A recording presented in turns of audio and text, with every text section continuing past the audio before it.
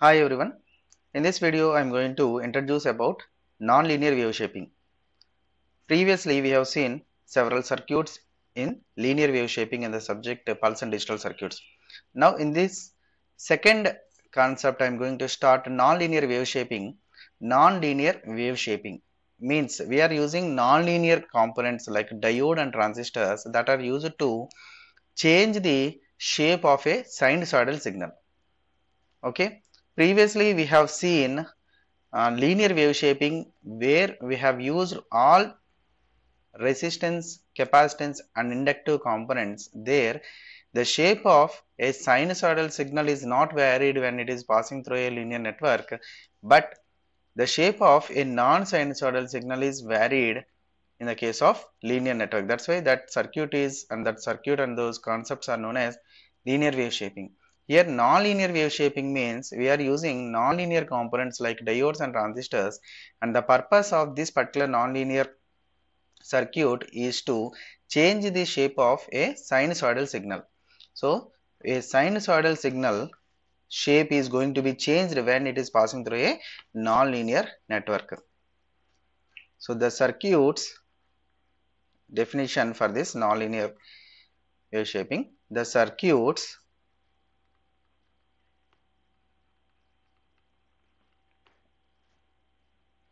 for which the outputs are non-sinusoidal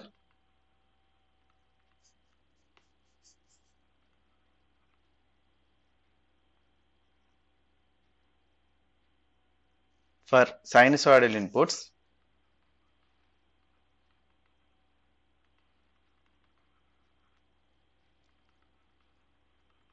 are called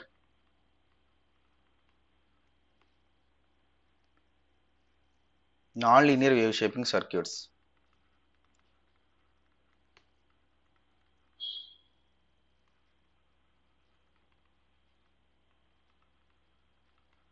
Okay, so the meaning of nonlinear wave shaping is suppose if you are having a nonlinear network, if you are having a nonlinear network, input is here let it be first case a sine wave.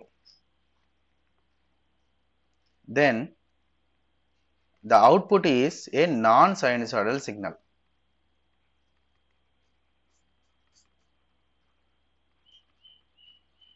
Okay? So when you are giving any other signal other than sine wave that shape of that particular signal will not be varied. So non-linear network is nothing but it is made up of non-linear components, non-linear components like diode and transistor. Remember that is the reason why it is named as non-linear network. Non-linear network is a combination of linear networks and as well as non-linear networks. Non-linear network means purely non-linear components cannot be built a network. So definitely pure uh, no, like uh, something like uh, resistance, capacitance or any other circuit, circuit component should be there along with the non-linear components like diode or transistors. Okay, if such network is placed here and the input is a sinusoidal signal, that particular shape of the signal is varied when it is passing through this nonlinear network. That is the meaning of nonlinear wave shaping. Okay, again I am saying the circuits for which the outputs are non-sinusoidal for sinusoidal inputs are called nonlinear wave shaping, nonlinear wave shaping circuits. Now, there are two types of nonlinear wave shaping circuits. They are clippers and clampers. There are two types of non-linear wave shaping circuits.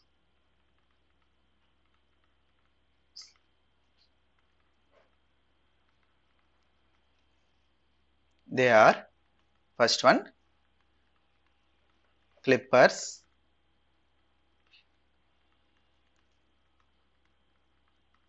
second one clampers.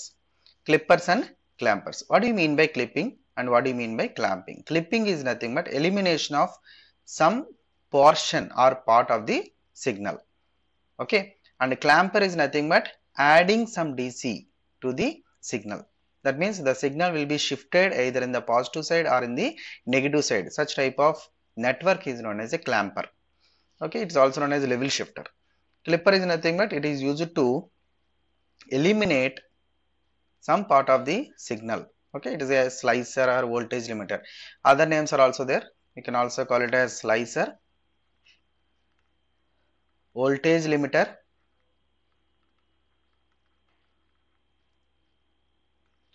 and clampers are also known as level shifters.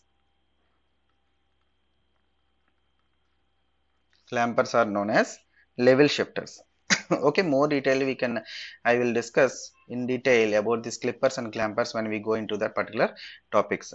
Now let me introduce the clipping circuits with the vi characteristics of diode. I told you a non-linear components are used here. Let it be a diode or a transistor. Let us consider the diode action first as a non-linear circuit with the clipping circuits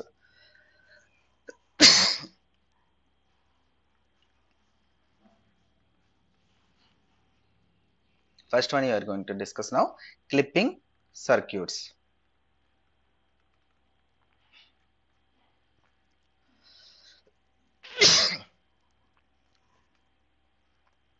so there are three different configurations for a clipping circuit.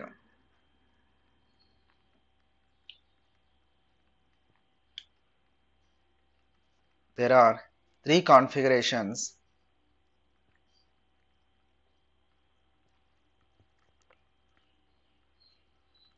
for a clipping circuit. First one, a series combination of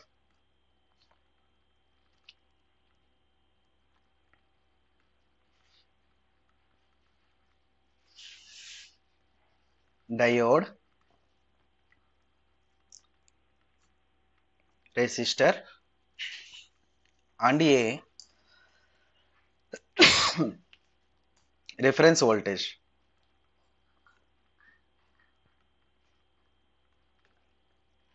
Okay?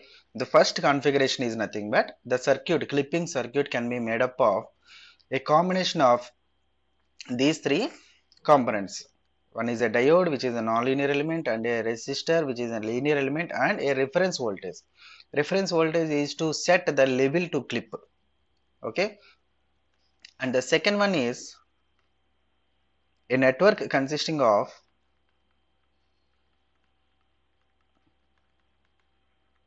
a network consisting of many diodes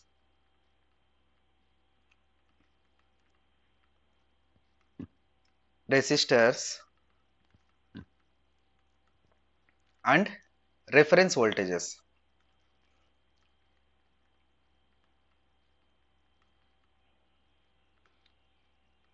Okay, so the second configuration is not a single resistor, single diode and a single reference voltage. Here we are using multiple diodes, resistors and reference voltages.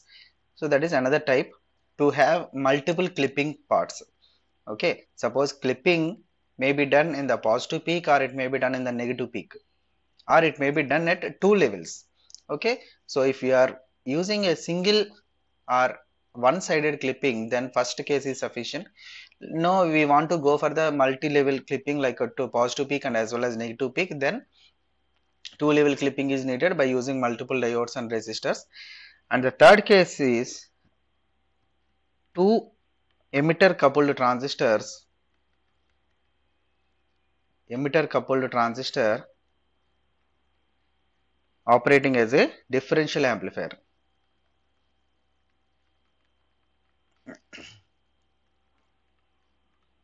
Operating as differential amplifier. Okay? So the first one is a single diode single resistor and single reference voltage that is used to clip the peak at positive or negative peak. Okay? And the second case is multi-level clipping positive and negative peak. Both the clips can, peaks can be clipped.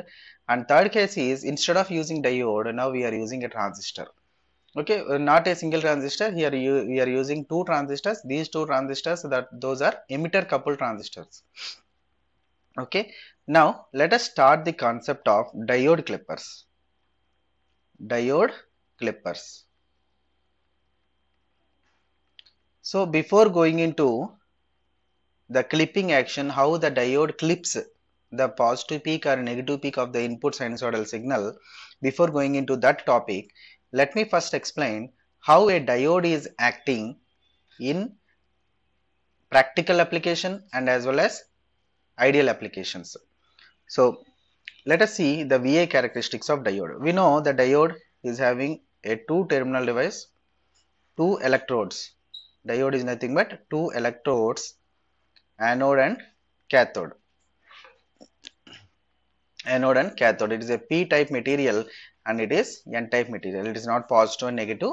Please remember it is a p-type semiconducting material and it is n-type semiconducting material. So, when we are giving a potential like this,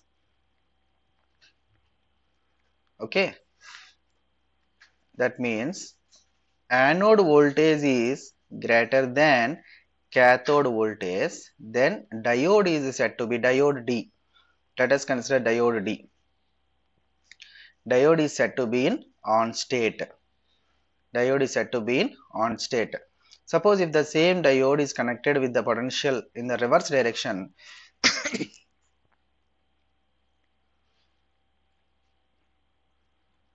so this is anode, this is cathode and now we are having a potential VA is less than Vk because the anode potential is at the negative terminal and cathode potential is at the positive terminal which is greater. So, Va is less than Vk then what happens diode is said to be off state. If you are able to write this particular state whether the diode is in on state or off state then you can uh, 50 or 60 percent able to understand the clippers made up of diode okay? So diode is said to be in on state when the potential at anode is greater than the potential at cathode. Then the diode is said to be in on state. In on state how it is acting? It simply acts as a short circuit. So whatever the voltage we are giving that will be coming here. In the second case the anode potential is less compared to the cathode potential. And in this case diode is said to be in off state. So in, it is nothing but open circuit. Here simply we can say it is open circuited like this. There is no connection between input and output. Here it is a short circuit like this. Hope you understand the operation of diode. Now let us see the VI characteristics of this diode. VI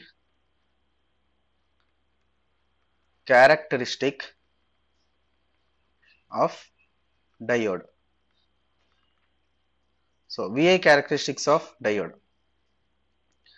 See, it is current axis and it is voltage axis. Here it is current. Now, before the application of input voltage, ideally this is for ideal case. Before the 0 volts, nothing but until 0, there is no current in the diode. So, current is also 0. Current is 0 on this same axis. Now, after T, after V is greater than 0, then diode starts conducting and current also increases. So, current also increases like this on the same axis. This is considered for ideal case nothing but forward resistance of that diode is 0 and reverse resistance of the diode is 0 with cut-in voltage of the diode V gamma is also equal to 0. V gamma is equal to 0. Remember this V gamma is a cut-in voltage. Ideally it is 0 but practically it is 0.3 for germanium material and 0.3 0.7 for silicon. You might have studied these two concepts when you are in the uh, intermediate or in the engineering first year also you might have studied. Okay, diode needs some minimum voltage. Practically, diode needs some minimum voltage to start to produce the current to flow the current across it. Okay? But ideally we can say it is uh, having zero cut-in voltage and uh, zero reference uh, zero forward resistance and zero reverse resistance. But when you are having finite suppose v gamma is finite. V gamma is finite. Then the characteristics of the same diode will be like this after finite some voltage the current starts flowing. This is i v and it is v gamma. So what is the condition here? V gamma is finite but forward current is forward resistance is 0 and reverse resistance is also uh, infinity. Here reverse resistance is infinity. Reverse resistance means when the diode is said to be in reverse biased condition it is acting as open circuit. No current is flowing. Open circuit means infinite resistance. Here also infinite resistance. One more is there. Suppose if the forward resistance is finite if the forward resistance is finite v gamma is also finite. V gamma is finite and forward resistance is also uh, sorry finite. Nothing but it is having some value. Then the characteristics will be like this. There is some deviation in the signal. Previously the signal is in a straight line but here there will be a, some slope. Okay here rf is finite forward resistance. Of course reverse resistance is infinity and this is also finite. Okay the characteristics are like this. Okay so these are the ideal and practical characteristics of the vi uh, sorry uh, ideal and practical va characteristics of the diode. So now in the next video i will start the clippers which is a shunt type clipper. Again there are two types of clippers we can design. One is a shunt type another one is a series type. Okay first i will start with shunt type in the next video. Thank you